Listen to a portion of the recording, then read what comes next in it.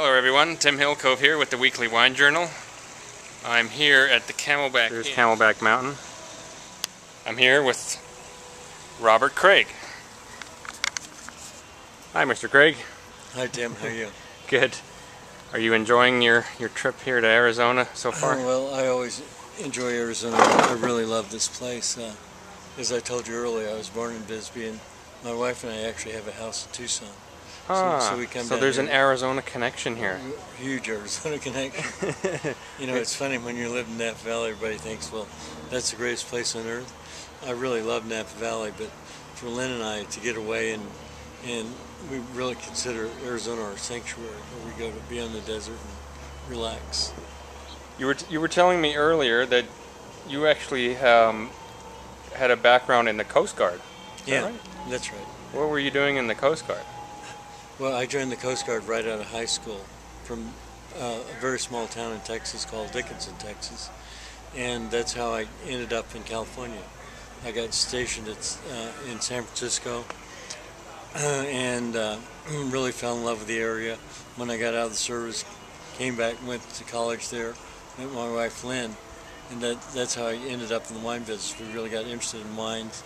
I used to go up to the Napa Valley when there were only six or seven wineries and and, and uh, you know spend the whole weekend just tasting wines and learning about wines. You, you were getting into wines, and you said around about the mid '60s when uh, yeah. when you, um, Robert Mondavi was Yeah. just starting out there.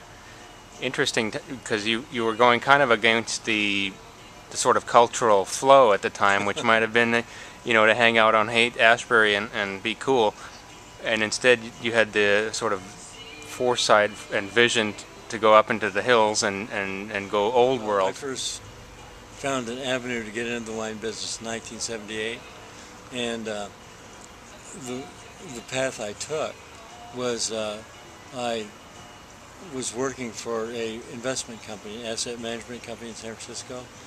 Another guy and I did a study on vineyards as a form of partnership investment.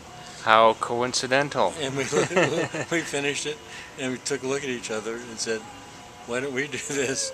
So I, I, I basically quit my job, and my wife Lynn supported me for, for two years while, uh, while we put together a partnership that bought a vineyard actually up on Mount Veeder, up in the mountains. up in Mount Veeder, and now you were actually instrumental in, in getting Mount Veeder uh, as a as an AVA. Is that right? That's correct, yeah. And and also Spring Mountain. Uh, well, the chronology of it is that uh, we put together a group that bought a vineyard on, on Mount Veeder, and then Donald Hess, about three or four years later, bought that vineyard property from the partnership and asked me if I'd stay on and be uh, manage uh, planning out the balance of the vineyard and starting a small winery.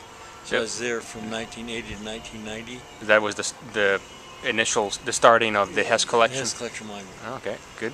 And we worked on getting that approved as an AVA for about three or four years, and it finally came through in 1989. So it, it is not a quick thing that you. It's not. It's No. it's, it's, it's Well, I guess it's you got to have patience, like like winemaking. yeah, and and you know it, it's a process dealing with the government, so you got to go through all the steps and and uh, answer all the questions, and and we we achieved that in 1989, and then by 1990.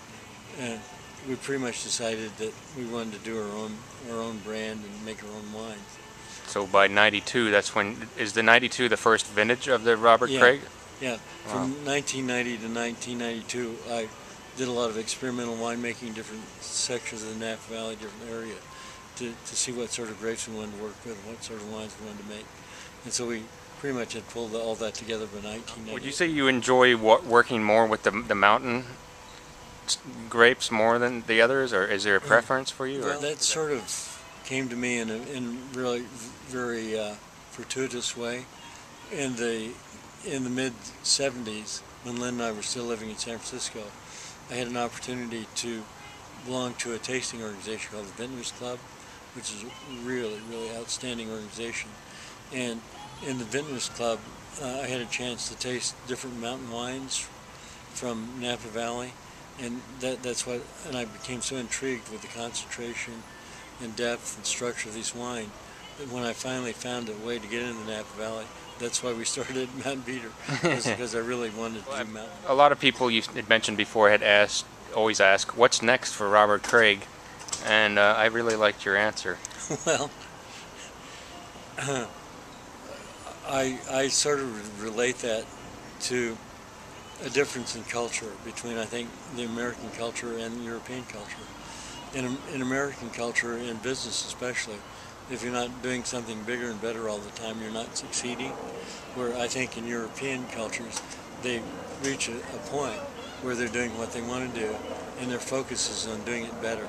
You know, we're I'm uh, moving on in years, and instead of wanting to make more wine all the time, I'd rather make better wine all the time.